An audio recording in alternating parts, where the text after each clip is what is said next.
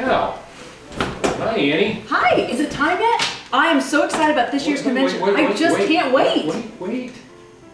How did you get into my house? well, there was a window open upstairs, so I just crawled in. I hope you don't mind. I kind of felt, you know, welcome.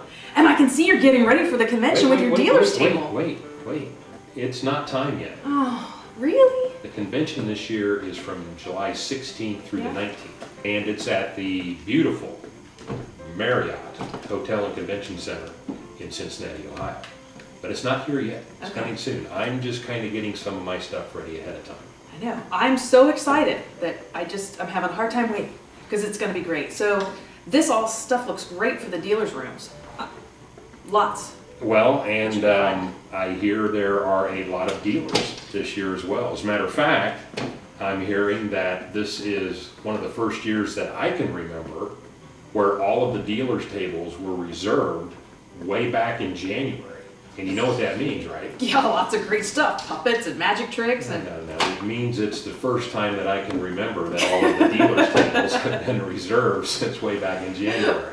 But no, you are right, that there are gonna be two full dealers' rooms just cram-packed with anything and everything that somebody might want as it relates to the art of ventriloquism, like books, DVDs, DVDs, videos, uh, puppets. puppets, figures, pretty much anything. magic tricks. You know, it's a good thing that there's an ATM in the lobby. That's all I'm saying. So, Uh, I think this is gonna be one of the best conventions ever. And, everybody can use comedy writing too. Yeah, I'm really looking forward to seeing Jim Barber is gonna Me be there this year. He's got that great Captain and Tennille routine. It's just hilarious. It just makes me just crack every time. It's Barber in Seville.